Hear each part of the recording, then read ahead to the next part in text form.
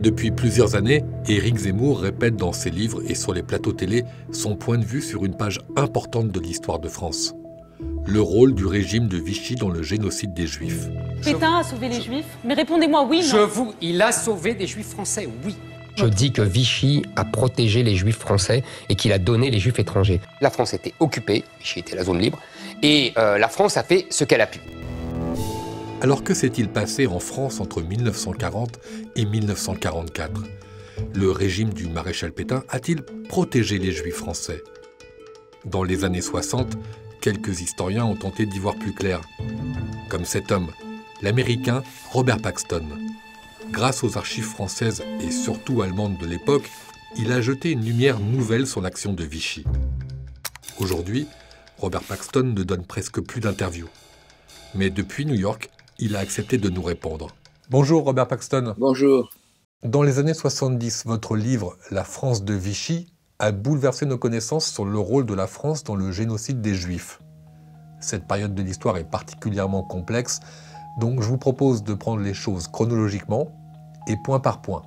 Ouvrons le dossier 1940. Après la victoire de l'Allemagne, la France est coupée en deux. Au nord et à l'ouest, la France occupée, au sud-sud-est, la France dite libre. L'administration de tout le pays est désormais organisée depuis la ville de Vichy, où siège le maréchal Pétain. Robert Paxton, à ce moment-là, est-ce que les Allemands font pression sur Vichy pour qu'il persécute ou qu'il déporte des Juifs? Au début, on n'a aucune indication que les Allemands cherchent à réduire la présence des Juifs en France, c'est plutôt le contraire. Ils envoient des milliers en octobre 40, au moment même quand Pétain rencontre Hitler, il envoie des, 7000 juifs de la Rhénanie en France. Il faut bien comprendre ce que voulaient les Allemands au début. Et ce, ce qu'ils voulaient n'avait rien à faire avec la situation des Juifs en France. Ça ne les intéressait pas au début. Et pourtant, ce que montrent les archives de l'époque, c'est que du côté de Vichy, même sans la pression allemande, l'obsession contre les Juifs est très forte, non? Si on commence au commencement, comme il faut faire, en juillet 40, euh, le régime de Vichy cible les juifs citoyens français en même temps que les juifs immigrés étrangers, euh, la législation antisémite de, Vichy qui commence tout de suite, c'est une de, de leurs premières préoccupations. Elle commence six jours une semaine après l'installation du, maréchal Pétain comme chef de l'État. l'organisation, c'est le terme de l'époque, euh, euh, c'est-à-dire euh, saisir les, propriétés juives, les mettre dans les mains des Ariens, c'est-à-dire les non-juifs. Et cette arianisation, est-ce qu'elle touche de la même façon les juifs français et les juifs étrangers? L'arianisation fait beaucoup de dégâts aux juifs citoyens français qu'aux immigrés qui, sont, qui ne ne possèdent pas d'immeubles, d'usines, etc. C'est eux qui perdent les postes dans l'administration. Euh, Ce pas les immigrés qui sont dans, ces postes. Quand Vichy élimine les, juifs des postes administratifs, ce sont les citoyens qui partent. La législation de Vichy cible tous les juifs sans exception. Robert Paxton, on arrive en 1941. Là, les choses changent un peu.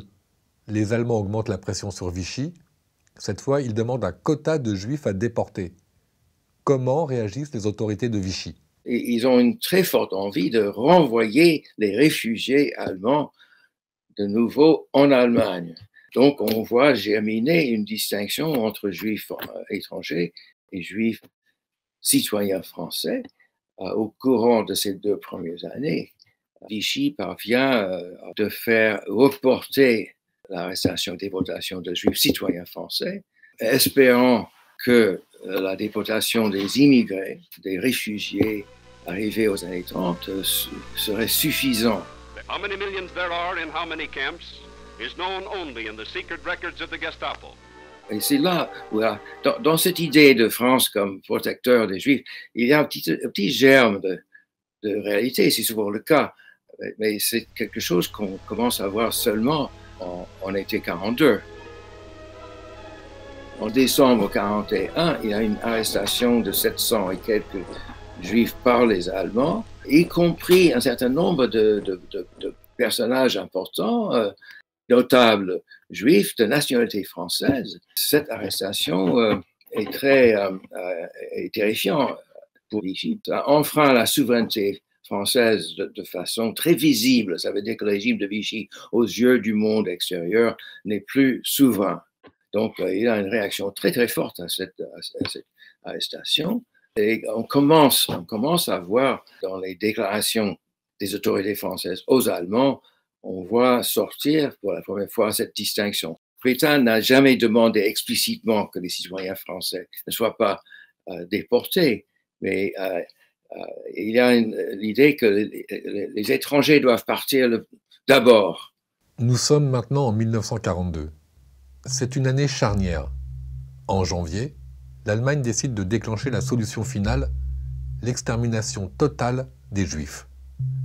En France, c'est le temps des déportations, c'est aussi le temps des grandes rafles comme la rafle du Veldiv. Elle est ordonnée par Vichy, en accord avec les forces d'occupation, et menée par la police et la gendarmerie française, sans l'aide de l'armée allemande. 9000 adultes, essentiellement des étrangers, sont déportés vers Auschwitz, mais aussi leurs enfants, qui sont quasi tous nés en France et donc citoyens français. Ils sont 4000, aucun n'en reviendra vivant. Et à cette époque, Vichy sait que le pire attend les Juifs déportés. Ils seront envoyés en Pologne avec des vivres pour 17 jours, 50 par wagon plombé, sans eau. Les Allemands verront, à l'arrivée, ce qui reste de vivants. Note du chef du cabinet civil de Philippe Pétain dans son journal, 23 juillet 1942. Robert Paxton. À l'été 42, une grande partie de la population française commence à réagir à ces rafles et ça inquiète Vichy.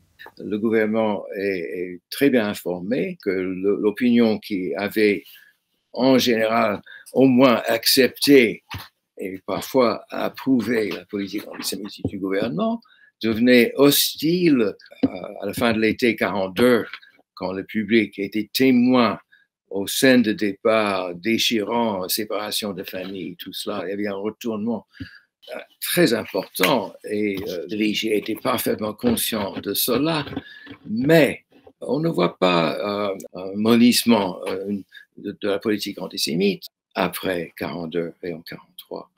Il est vrai que les, autorités locales appliquent la loi peut-être avec un peu moins d'enthousiasme, il y a un peu moins d'enthousiasme dans la police, mais euh, vu du sommet, euh, la politique euh, devient plus dure. La politique envers les Juifs devient plus dure. Robert Paxton, quand Éric Zemmour parle de Pétain et des Juifs, il utilise ce chiffre. Les Juifs français ont été sauvés à près de 100%, à 95%. Alors, les historiens parlent aujourd'hui plutôt de 90% de Juifs français qui auraient été épargnés. Mais alors, j'ai une question toute simple. Qui a sauvé ces 90% la, France a perdu moins de sa population juive que d'autres pays occupés comme la Belgique et surtout la Hollande, où c'était terrible. Appliquant la logique plutôt que la recherche historique, on peut imaginer que c'est le résultat d'une résistance de part de Vichy.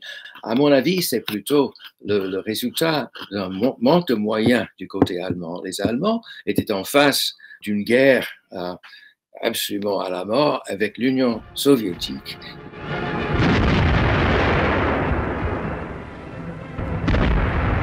Sowjetpanzer. Immer wieder versuchen die Bolschewisten, die Umklammerung zu durchbrechen und nach Osten zu entweichen. Vergeblich.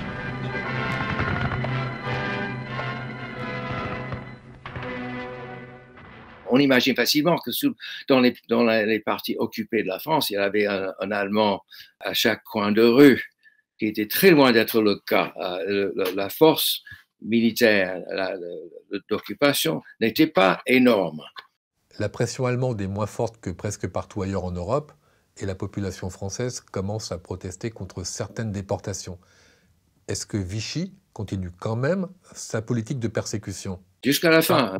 La, spoliation de propriété continue, était toujours, ces bureaux étaient toujours très actifs au moment de la libération de Paris jusqu'en août 1944. ces, ces, bureaux ont continué à fonctionner. Merci pour votre temps, Robert Paxton. Ah, merci beaucoup. Bonne journée à vous.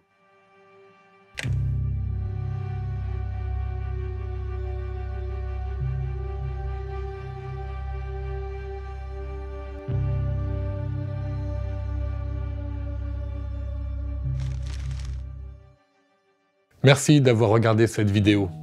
Ces dernières années, d'autres historiens ont cherché à comprendre comment beaucoup de juifs français ont échappé à la Shoah. Les archives montrent que la superficie de la France a pu jouer avec son relief montagneux où on peut se cacher. Il y avait aussi des frontières pour fuir en Suisse ou en Espagne. Surtout, les juifs français étaient français. Avec de faux papiers de bonne qualité, ils pouvaient se fondre dans la population. Enfin, les archives prouvent le rôle essentiel de certaines organisations juives, de catholiques, de protestants et de résistants. On vous met quelques liens en description.